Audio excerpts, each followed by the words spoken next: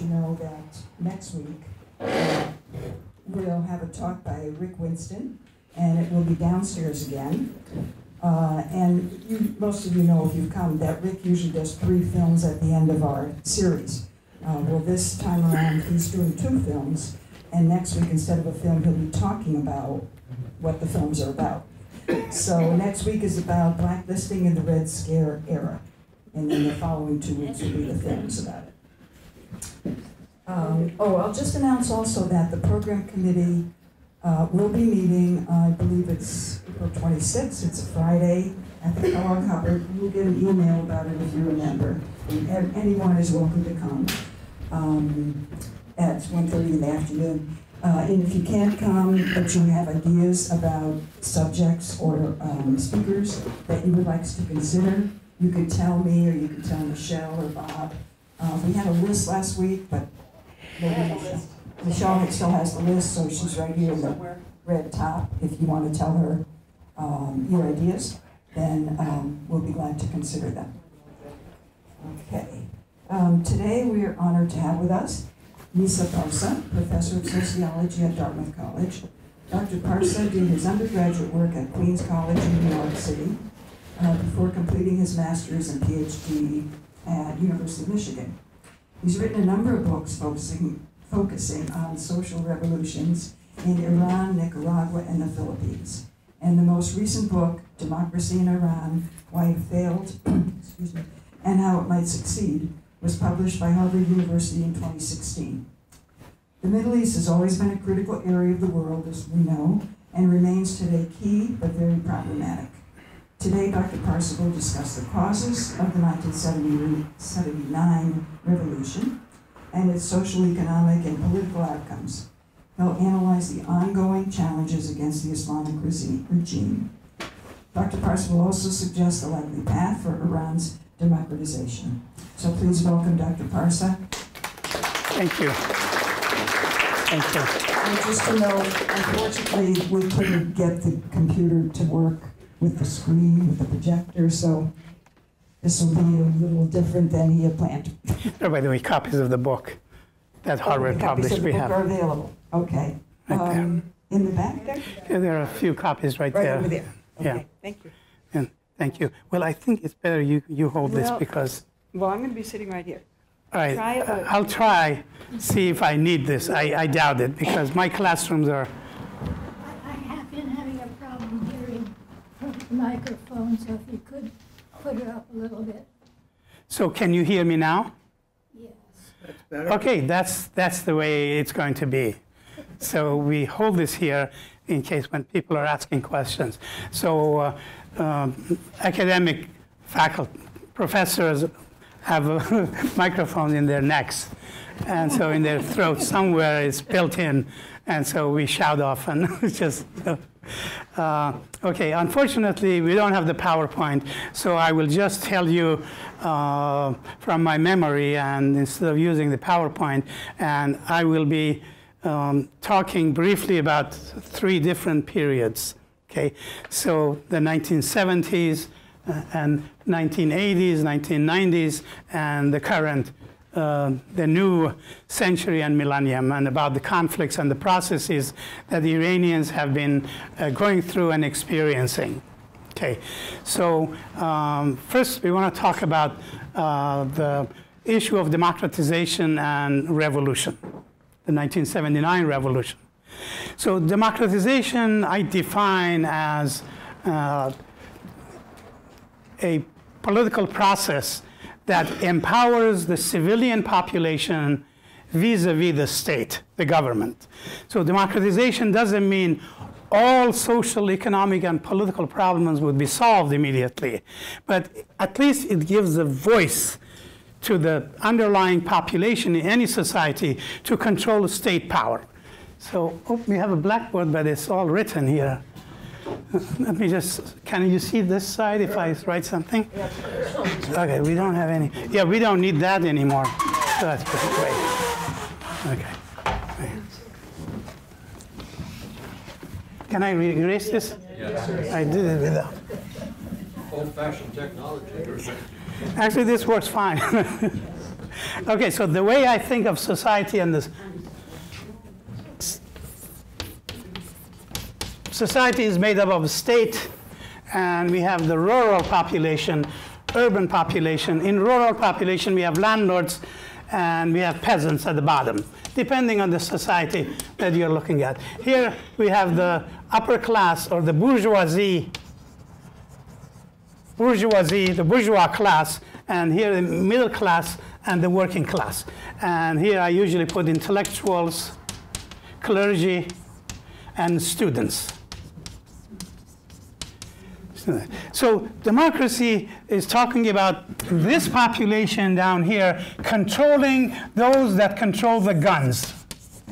Can be very dangerous, right? If you don't control the guns.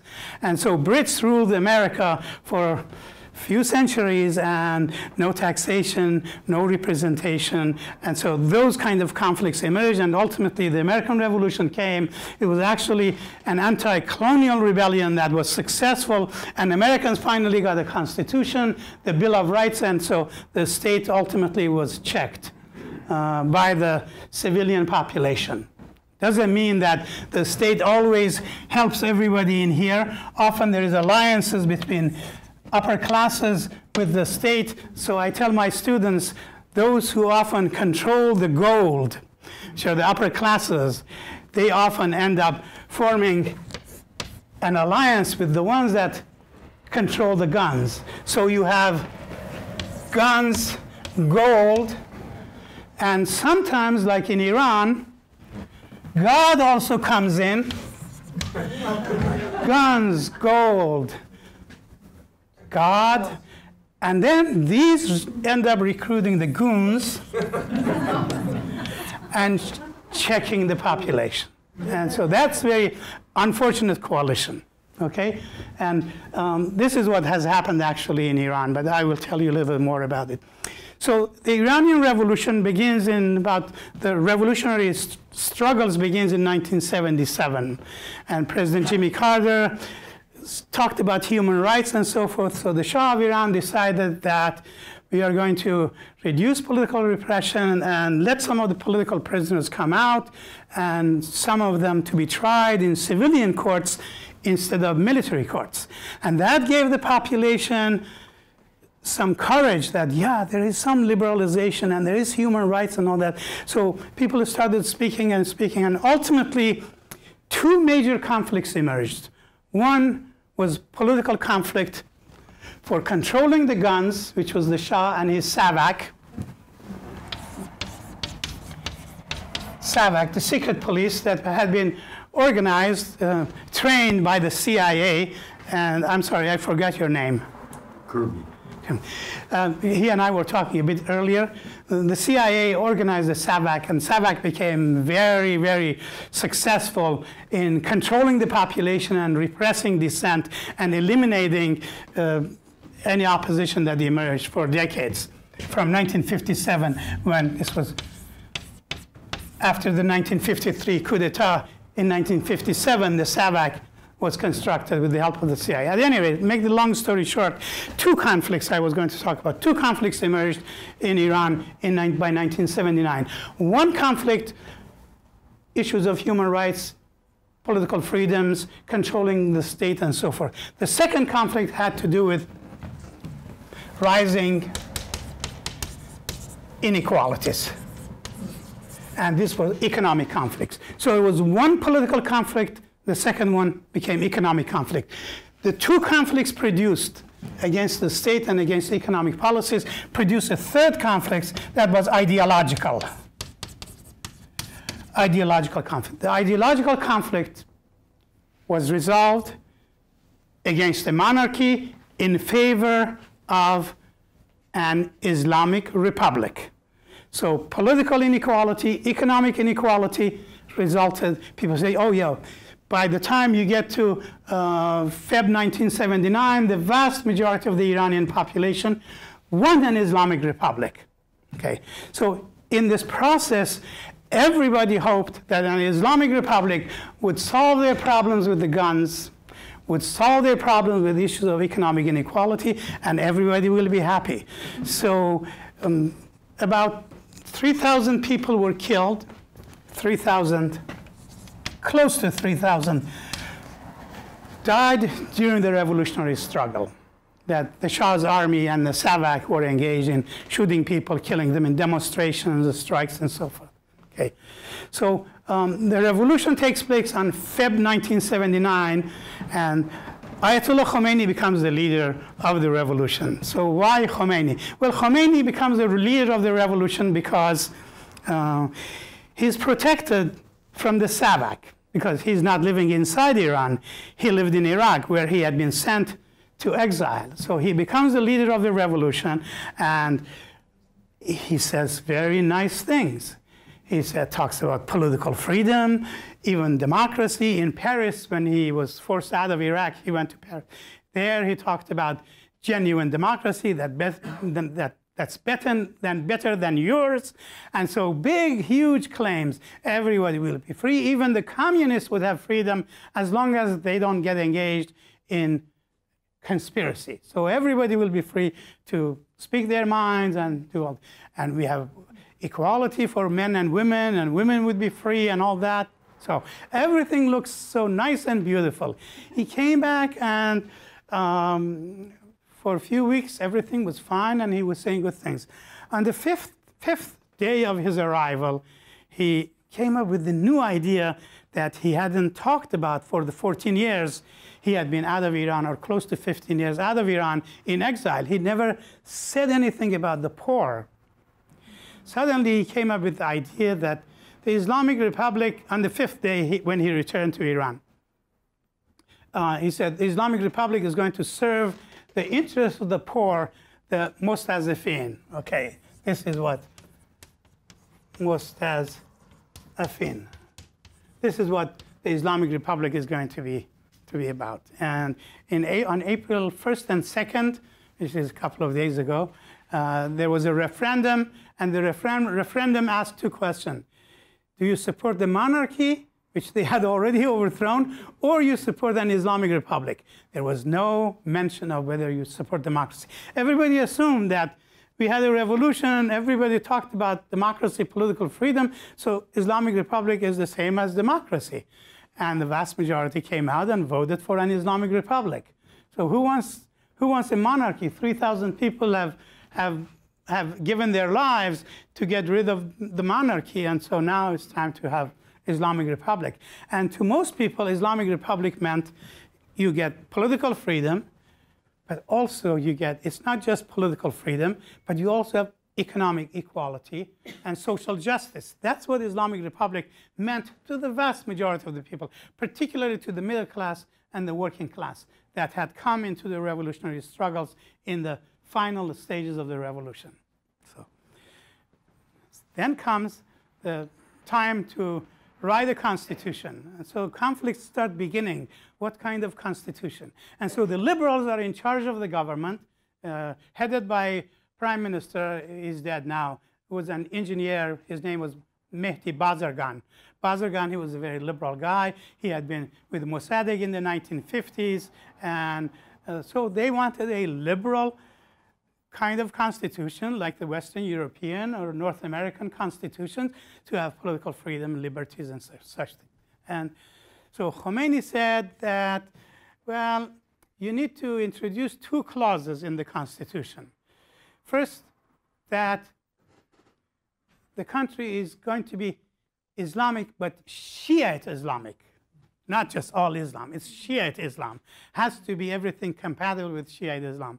And the second element that you need to introduce into the Constitution was the fact that women cannot become judges. So the liberal government said this wasn't supposed to be part of the conversation. Women could not be judges, so they rejected it. They rejected it, and conflict was going on between the provisional revolutionary government and Khomeini and his supporters. And something very lucky happened for Khomeini. This was on November 4th. Khomeini became very lucky, thank you. Hostages were taken by students. Nobody had any clue what was going on. Khomeini realized that this seems to be mobilizing the population. Anti Americanism is on the rise, and he threw his support behind the students who took the American embassy as hostage. As soon as the hostages were taken, the liberal government said, What the hell is going on? This is a, students are now a new government and they're doing, they're anarchists and whatever they're doing. They resigned. As soon as they resigned, a few weeks later, um, the clergy, parts of the clergy, members of the clergy started becoming very active. They had been active during the revolution, but they were really the latecomers. They weren't in the front, uh, forefront of the revolutionary struggles, which were students and were basically largely leftist students and were socialists or Marxists of, of different kinds. And so um, the liberal government is out of power. Khomeini brings in his own constitution and the clergy, and he keeps shouting the entire um, coalition, Khomeini's coalition, we are going to serve the mustazafin, the oppressed, the poor.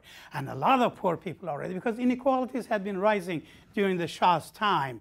And with a lot of oil money coming in and going to wealthy people, the people at the bottom weren't getting much of anything. So inequalities were rising. Khomeini recognized that this is his winning card, at least one of his winning cards. So he promoted the working class, and some of the middle class came in support. And so um, before the year was over, 1979, the Constitution was approved by, again, majority of the population. There was some dissent, but not much. Once the Constitution was passed, Khomeini started repressing everybody. And so um, um, in the um, following years, because it's a long story, I'm going to make it short. Um, between 1981 um, and 1985, that four-year period, Khomeini's regime executed more than 11,000, 11, more than 11,000 people. This is 81 to 85. And then 1988, uh, once the Iraq war ended, uh, executed more than 5,000 political prisoners. Most of these were Muslims, were Islamists who had supported the Islamic Revolution. These were mixed.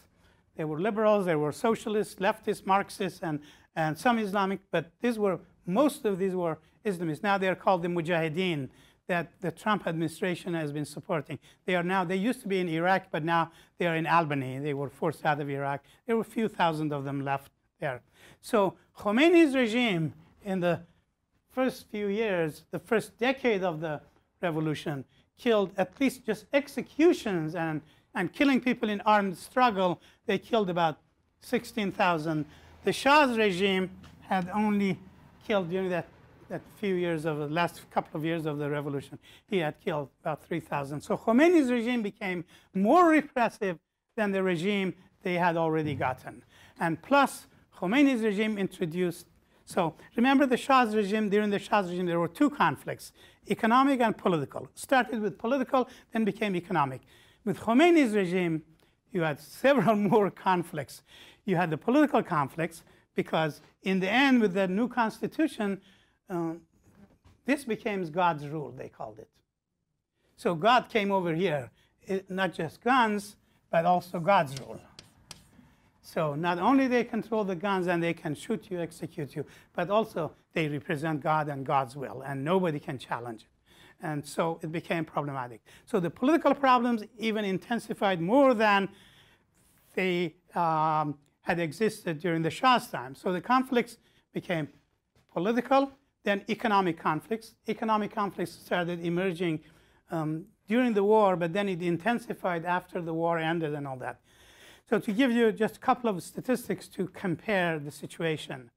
In 1976, when you were probably in Ahvaz uh, in Iran, 1976, Iran had its highest GDP per capita in history.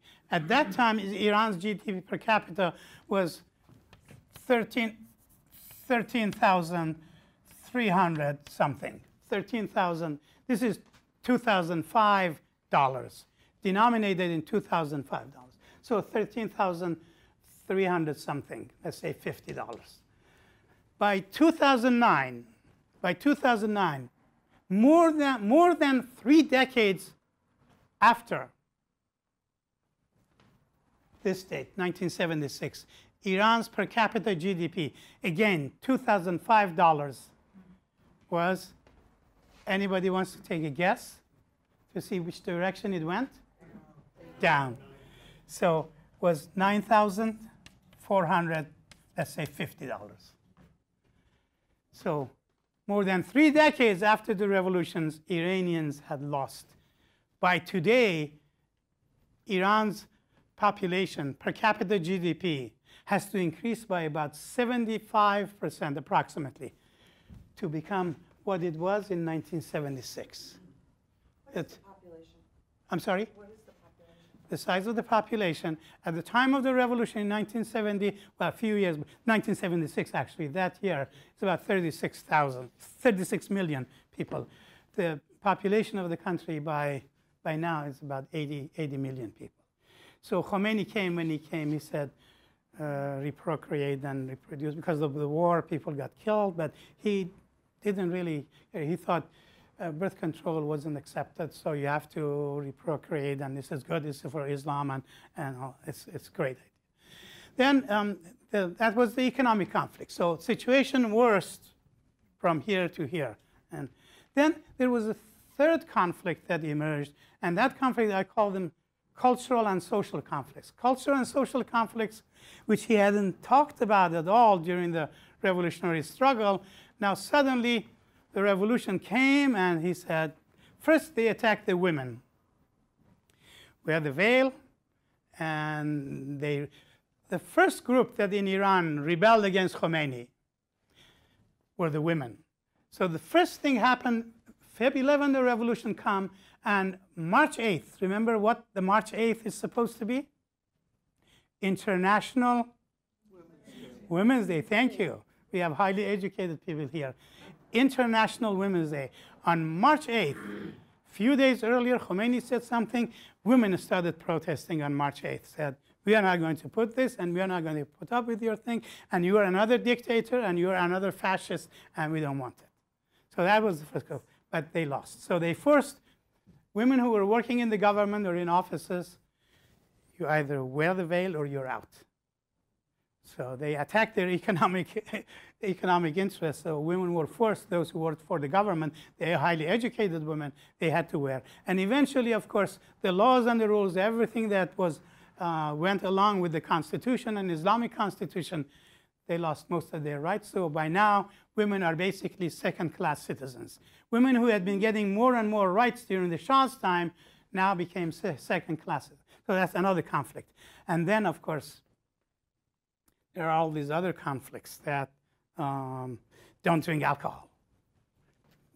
Persians, Iranians have been drinking alcohol for thousands of years, at least as, as far back as 7,000 years ago, archaeologists have found evidence that these people have been drinking for several thousand years. And now, how many don't drink. And so a lot of people stopped drinking, but then people started smuggling beer and wine and alcohol from outside of the country, bringing in.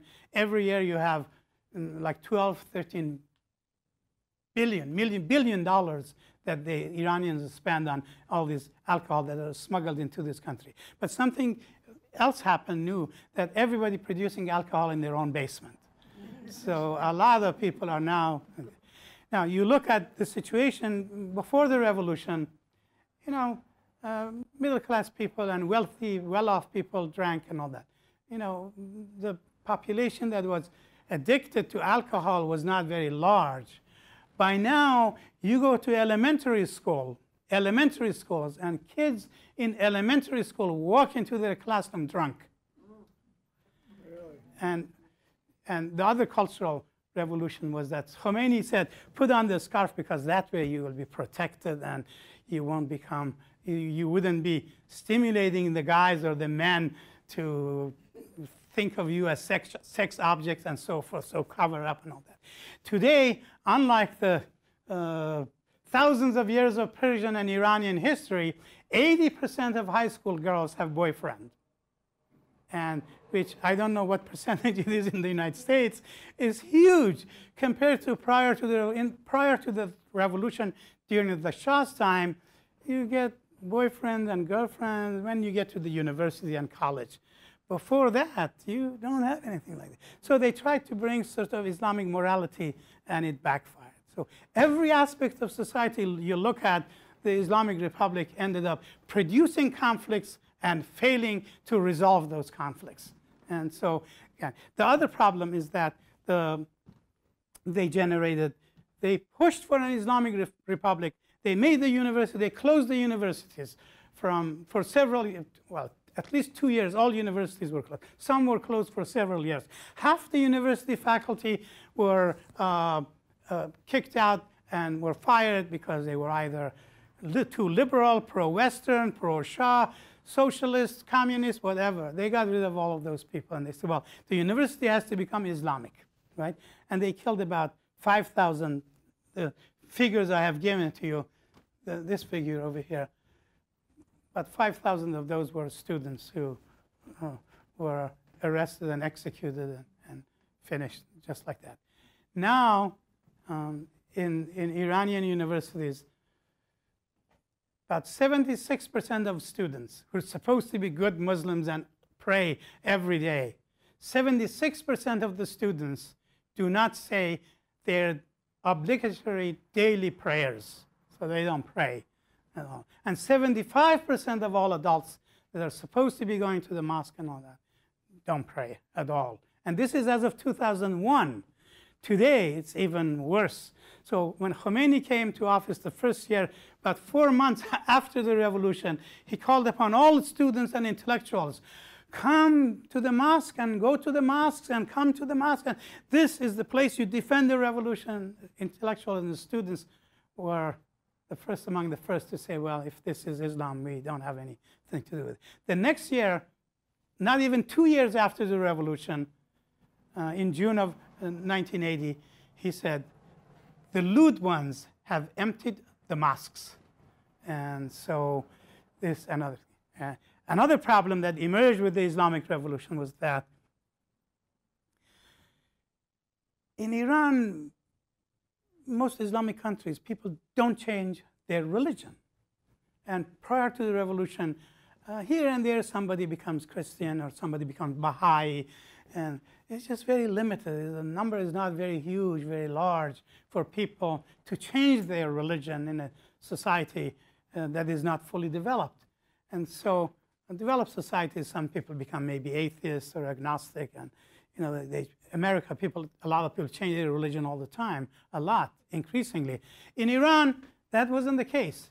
Today, Christianity is one of the most favored religions by those who convert. So increasingly large number of Iranians changing their religion from Islam to Christianity or Baha'i or Zoroastrianism, which is an ancient Persian religion. So they created another problem. In addition to social problem, which has to do with the women and ethnic minorities, you have problem with religion. So every aspect of society that the Islamic Republic has created uh, is, uh, is, is generating conflict. That, so there are the Kurds, there are the Turks, there are the Turkmen, there are the Arabs, there are the Baluchis, and all of these groups, most of them are Sunnis, and they have problems with the Islamic regime, the Islamic Republic. So there is nobody that is really uh, uh, completely satisfied uh, with any of the things that they do. There's a very small, less than 10% of the population that is really satisfied, and those people are some of the clergy, ruling clergy, not all the clergy, because a lot of the clerics now are non-political. They don't intervene. They are afraid of intervening in politics. The ruling clergy, the Revolutionary Guard, and their relatives. So about 50% of Iran's GDP is controlled by the uh, top Ayatollah, is the supreme leader is called. Khomeini established that institution, the supreme leader who represents the hidden imam, the 12th imam, and everybody has to abide by his command and his order. And so they control about 50, 50%. And the Revolutionary Guard probably controls about 20% of Iran's economy. Some people go as high as 25%. And the vast majority of the people are living in destitute. So that's the economic dimension of what they have today. Now, a couple of uh, um, conflicts I'll talk about then. How much time was I supposed to be talking first? Half an hour. Half an hour?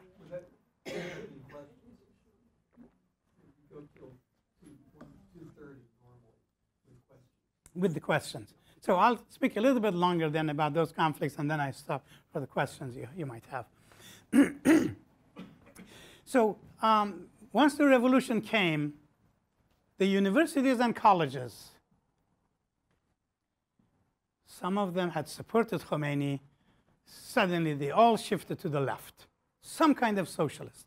Some were in favor of Swedish so socialism or Scandinavian socialism. Some were in favor of Soviet kind of communism. And some were nationalists and wanted liberalism to come, and they had no interest in Islamic theocracy and so forth. So Khomeini um, decided, well, we close down the university, which I talked about, and killing people and then getting rid of a lot of the students. He reopened the university. The universities, then they thought, okay, we cleaned up all the liberals and the monarchists and the socialists or communists, all of them are gone. Now we, are going to be safe. 1999 comes in, and there is a conflict within the government over uh, closing one of the newspapers in the country, liberal newspaper, relatively liberal, or Islamic liberal. So the students protested, and why are you closing this newspaper? Why are you picking on this liberal newspaper? So the students protested about a week or so throughout the country in all universities, cities, and towns. And one of the important things that Khomeini's regime did was to expand the colleges and universities which weren't really huge in numbers during the Shah's time. Khomeini, to their credit, they expanded the universities.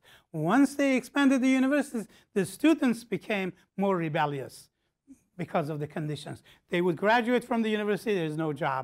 And so once the, that um, newspaper was closed, the student rose up and they targeted the economic and political foundation of the Islamic Republic. The slogan, the most interesting. Now, uh, Elaine Sciolino, uh, who was the New York Times reporter, I think you, you, remember her? Yeah. So she is retired, I believe, now.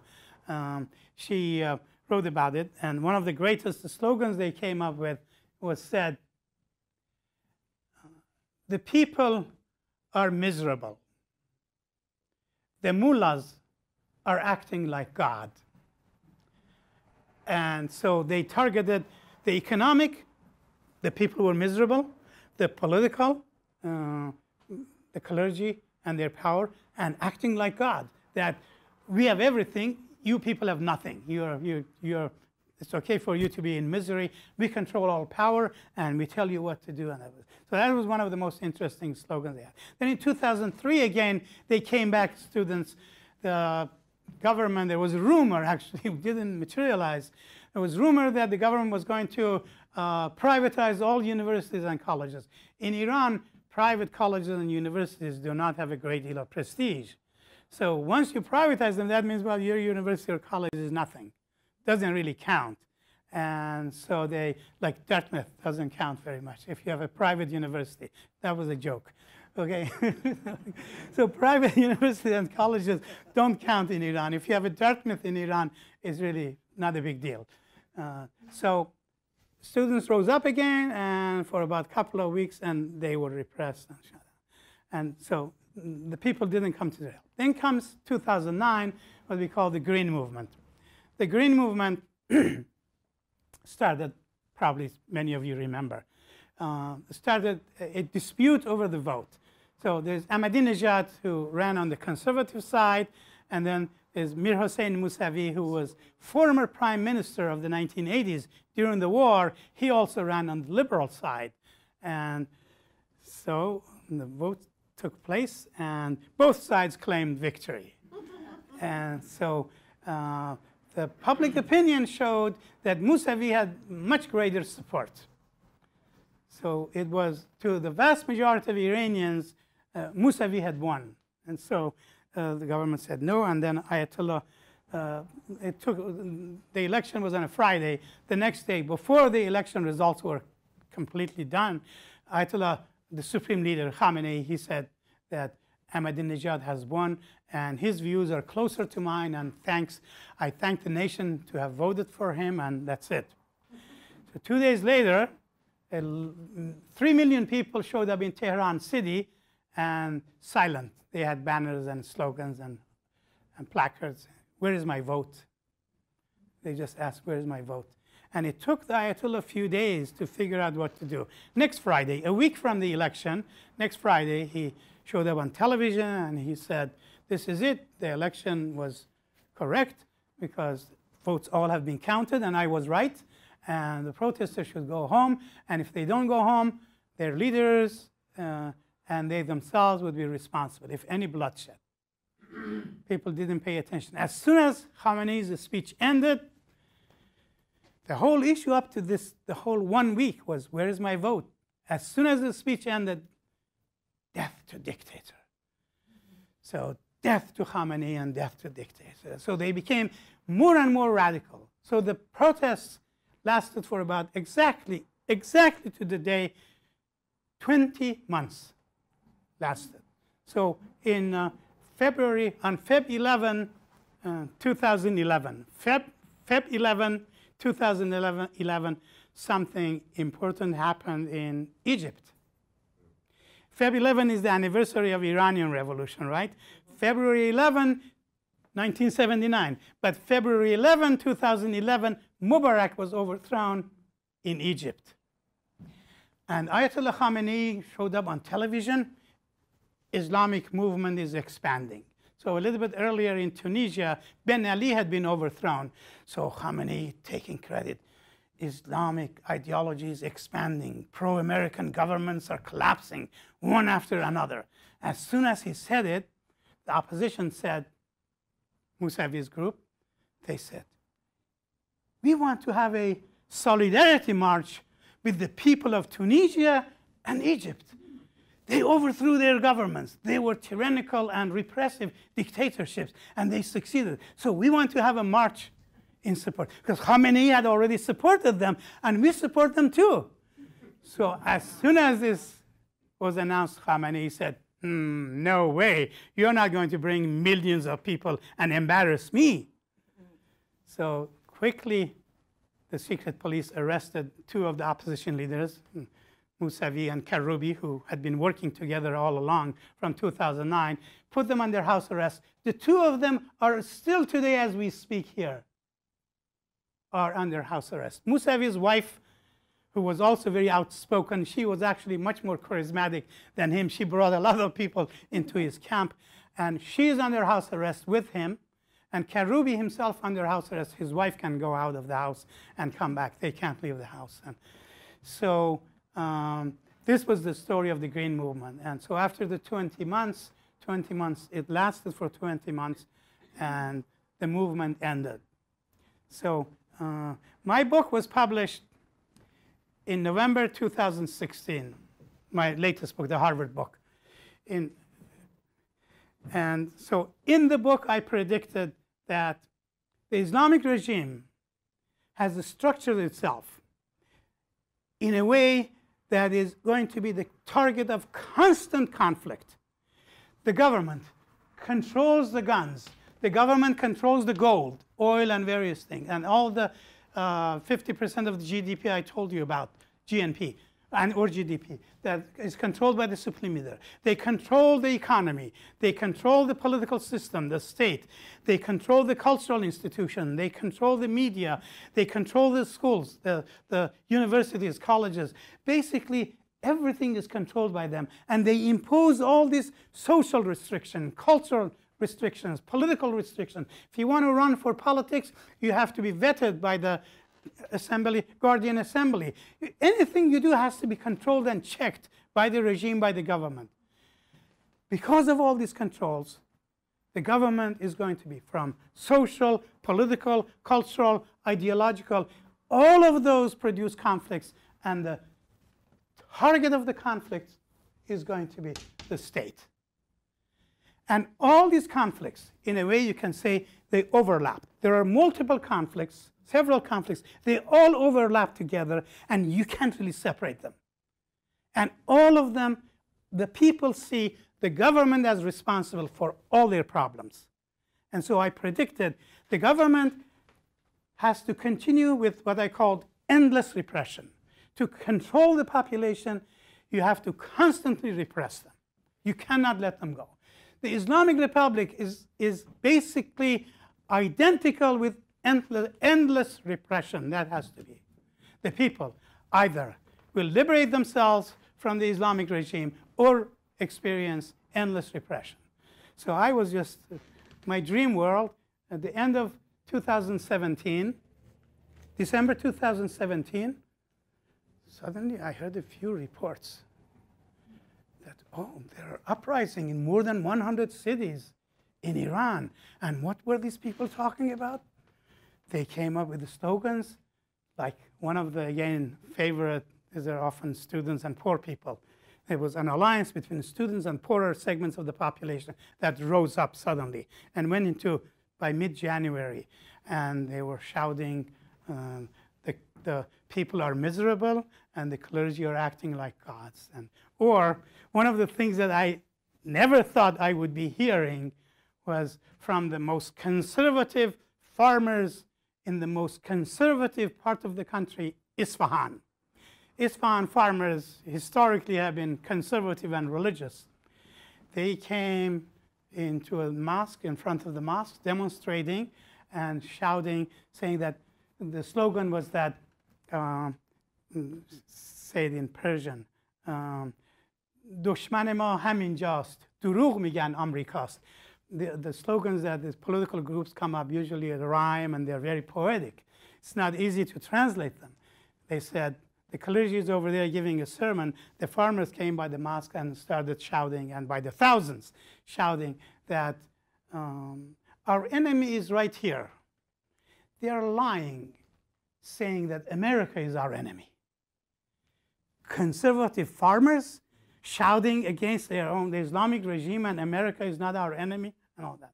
And then students throughout the country shouting slogans like, uh, along with the poor people, that they are miserable and so forth. And then um, they had another slogan saying that, uh, um, telling the principalists, the conservatives, and the reformers. There's a group of reformers following uh, former President Khatami. Uh, they were saying principalists, uh, the conservatives, and then reformers, reformists. Uh, forget it.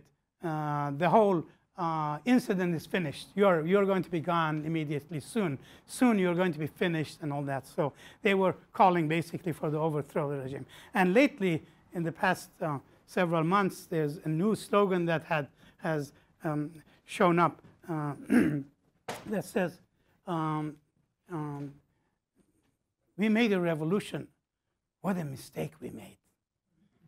And um, the farmers going to the mosque I was telling you, as soon as clerics started talking, they're looking at the clergy, as soon as the clergy starts talking, they turn around their backs and shout their own slogans against the clergy and the rulers of the Islamic Republic. Okay, I have gone a little bit over. I'm uh, going to read you one of the, the, one of the paragraphs, last paragraph in my first chapter, and I took credit for what happened after my book was published. That's one of the greatest things that cap, can happen to an academic that hmm, everybody was saying, oh, how is he predicting all of this to happen? Iranians don't want. I said the only way these people can have political freedom and democracy and what they were asking for would be would be a, through a revolution. So people uh, and, and some of the things I talked about was that women taking off the scarf and throwing it away or pushing it back, all kinds of things women are doing. People drinking, not going to the mosque. These were all part of the passive resistance that I was looking at, and people not fasting, not praying, all of those things, and converting to Christianity. I said, this is going to be a lot of conflicts to come. So this is what I said in the last paragraph of the first chapter. Okay. More than three decades after the formation of the Islamic Republic, Iranian society is more polarized than ever before. On the one hand, the regime insists on the continuation of the theocratic structures. On the other hand, people are engaged in widespread passive resistance and refuse to live in accordance with the rules of the theocracy. The persisting conflicts have compelled the regime to resort to endless repression. More importantly, the contradictions have generated irreconcilable conflicts and set the stage for protests and clashes that have yet to reach a climax. Thank you for pa your patience. okay, questions?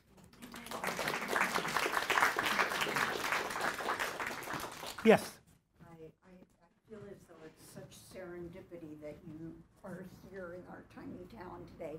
I have been working as an editor for a writer in New.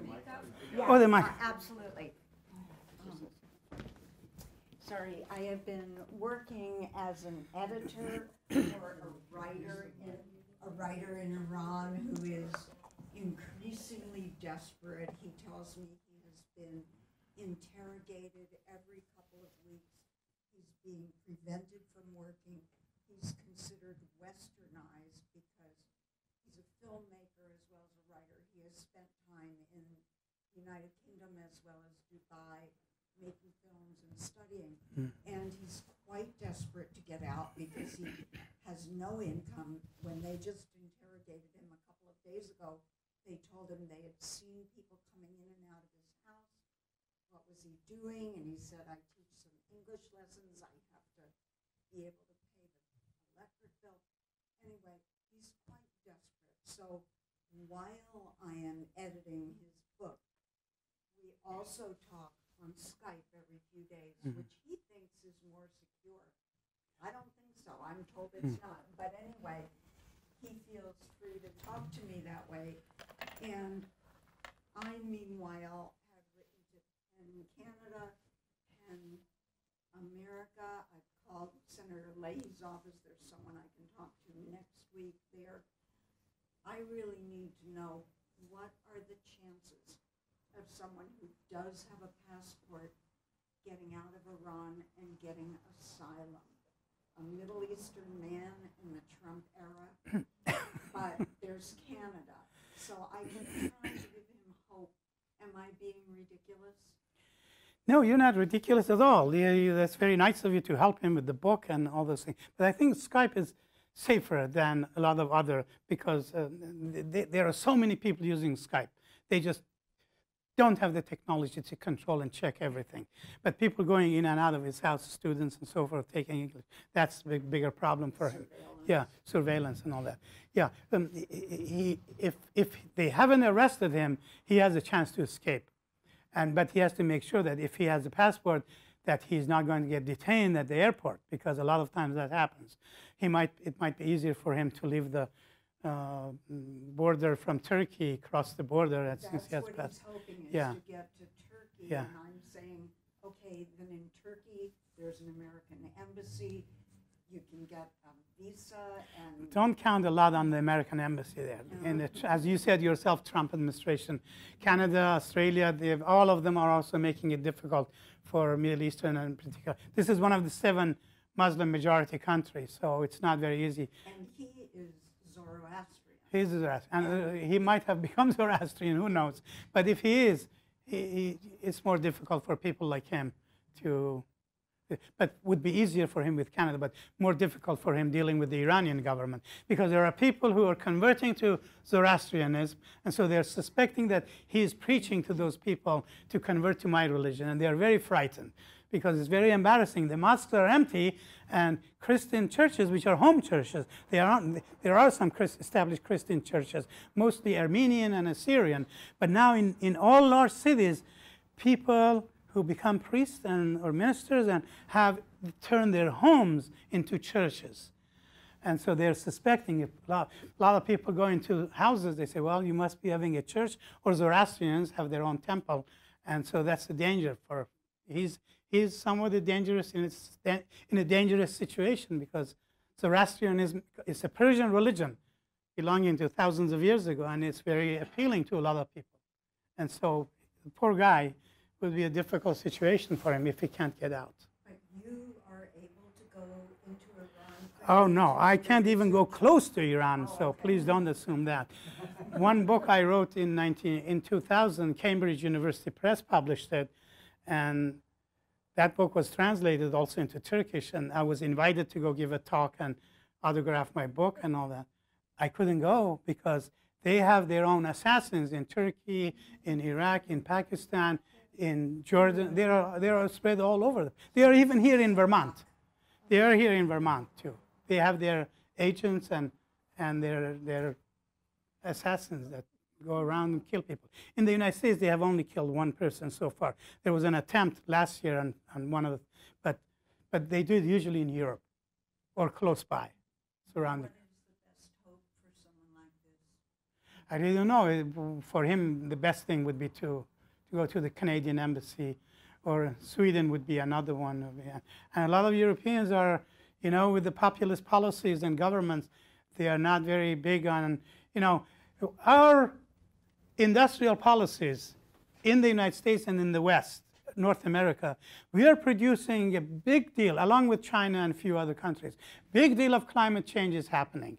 And so Africa is undermined droughts everywhere, desertification everywhere. They can't cultivate the land because of the climate change, floods and diseases, and you know you have all these various things going on, and so people start living. And the, the solution is to deal with the main problem. They have climate changes, rising inequalities, which comes from Reagan all the way to Trump, and everywhere inequalities are rising, and uh, climate change is producing problems. So people live Honduras, and so we are. Let's put a wall there. Let's close down the border and all that. That doesn't solve any problem. Go over there to Honduras, solve the problem of poverty, inequalities, drought. You have to solve those problems, which he denies they exist. I'm talking about Mr. Trump. And so, so this just, the world is just in a very strange place. And they don't understand the problems. They deny what the problems are. And so you expect another Messiah to come, hopefully, to solve the problems. Yeah. That Zoroastrian religion isn't a very big one, is it? Or- Zoroastrians in Iran. No, it's a small minority. I, the question was that Well, was Zoroastrian. yeah, Zoroastrians, uh, it's, it's a small, but where was the origin of it? Originally is Persia. Uh, Persia at the time was the entire huge part of the world, known world at the time. And so um, Zoroaster was uh, the first prophet that brought the idea of eschatology. There's one God, and then there are he- there's heaven and hell. You do good things, you go to heaven. Bad things, you go to hell. Then Judaism, later on Judaism, because ancient Judaism does not have eschatology. There's no heaven or, or hell. Later on, the Jews adopted, heard of, of the idea from the Persian, and then Christianity and Islam picked up on the idea of eschatology. So it's Zoroastrianism. I'm neither Muslim nor Zoroastrian, or none of the above, basically. And so it's one of it's a great religion. Everything is based on doing good, thinking good, and doing good for people in the world. And so there are some very simple things in it. And so, in a way, um, the Muslims, because this was ancient Persian religion, they don't repress the Zoroastrian as much. Other religions, they say, oh, this came from other places and all that. And so, but um, there are about 25,000 or so, maybe the population of Zoroastrian. They moved out of Persia, out of Iran, and they went to, some of them went to India, and they became the Parsis over there, known as Parsis, very wealthy, but their population is dwindling. And so, yeah, this, so that's where they come from. And yeah, yeah. So, have you any thoughts on whether it's always the case that in a country that installs a religious government, whether it's Israel or Brunei Darussalam, that inevitably uh, you're creating a an experience of endless repression for uh, the population of these countries? So, very great question. So, when the, the, when the state, when the state is ruled by God, that basically creates a conflict because people, the, the Constitution of the Islamic Republic, the constitutional constitution says that the people are the sovereign. They are the ones to determine their own fate. So once the constitution, that parts of it are very progressive still, once the constitution became a theocratic, then that generated a conflict. Because these people were going to determine their own fate, the civil society, the constitution says, oh yeah, people can determine their fate, but we also have this supreme leader. It has contradiction within itself. And that produces the reason for repression. You're absolutely right. Once you give the power to a group that claims to be God's representative, then you have set up the stage for conflict. Especially when you come to countries that have different groups, different religious constituencies. And so if Israel says the country is just for the Jews, then there are all these Muslims who existed long before Israel was established. So you generate conflict. And if my God is the one to be dominant and your God is not respected, then there's going to be fight. There's going to be conflict over it. So unfortunately, that's why America adopted democratic institutions and kept God out of it. And so once you bring God in, then you have this heavy gorilla that can kill anybody that is against it. And so, yes, you had a question. Um, Yes. You know, it seems like the information that we get over here, um, that Iran and Saudi Arabia are at odds because one Sunni and one Shiite. And you didn't mention that at all. Now, do you have Sunnis in Iran too? Yes, of the um, Kur- most of the Kurds, northwest, the Arabs, uh, southwest, and then the Baluchis and Zabulis, uh, and then the Turkmen. So they're all Sunnis. So the, the, on the edges of Iran and the border are mostly those areas are Sunnis, and so and there is a conflict between Saudi Arabia, and the conflict is not over help. I'm talking about Iran's domestic issue, so I didn't come speaking about Saudi Arabia because Iran is the issue, and the issue is democracy. But Is it Each- an issue between the two countries? each one wants to be the having the hegemonic power in the Islamic world. Saudi Arabia, before the Islamic revolution in Iran, claimed to be the well, they are the um, holders of the holy spaces and all that, along with Iraq to some extent. And so they had the claim. The Islamic revolution came, and these people say, "No, we are now God's representative, and we are the one." So there is that conflict, and neither one is has anything uh, progressive about it. And so that's the unfortunate. Yes, you had your hand. Well, part of my question was about Saudi Arabia. Um, No, I'm sorry. Saudi Arabia is not my country of my interest, but oh, Like the future for the Middle East in general, it's pretty much a tinderbox. It's surprising it's, it's lasted this long. Was gonna say, do you think that the Saudis will, regime will collapse in the next few years? Or the Iranian regime will collapse in the next few years? s- s- you know, I haven't studied the Saudi regime, but uh, a lot of the characteristics that you see in Iran, you also see them in Saudi Arabia. Saudi Arabia could have could have experienced intense conflict during the Arab Spring. It didn't, you know, 2010, 2011. It didn't come because Saudi Arabia came with, on the one hand, gave people lots of subsidies, and then on the other hand, arrested the liberals, put them to jail. Some of them are still in jail and all that. So Saudi Arabia has the money and the resources to spend and buy the, through buying, resolve some of the conflicts at least. But Iran has a higher chance of, of collapsing and being completely eliminated because Iran has all these conflicts and has very little resources to handle the problem because the sanctions and nobody is buying the oil. And, uh, but also Iranian population is, especially the women, uh, they are among the most sophisticated in the world, most educated in the world. 57% of university students are women and girls. And so, and they're fighting. They are fighting like no one. American women don't have a fight to fight. Iranian women do, and they are really brave and courageous. They are fighting even in jail, despite the rape and despite the torture, all that they're experiencing. Yes. Comment and a question. The comment is actually following up on your question.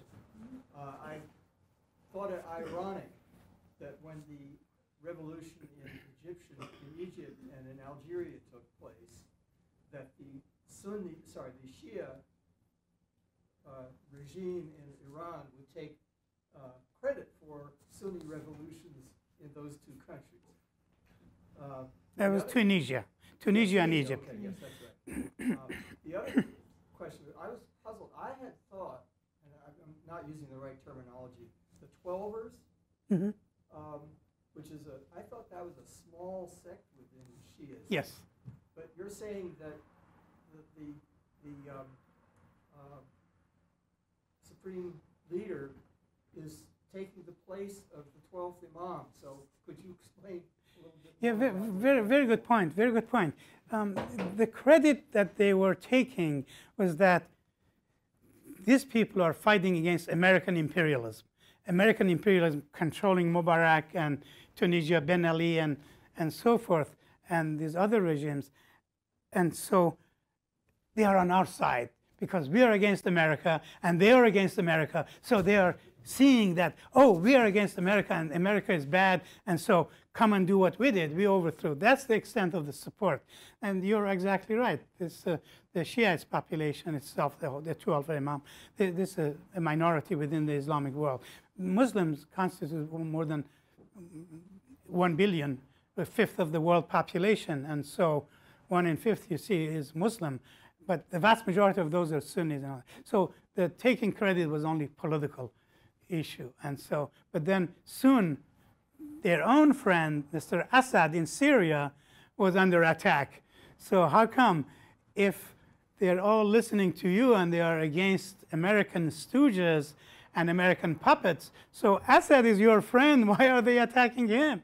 So they totally misread. And they supported all these movements. Suddenly, Assad is going to be overthrown. Oh, no, oh, no, we have to go support him. And now they have poured in billions of dollars.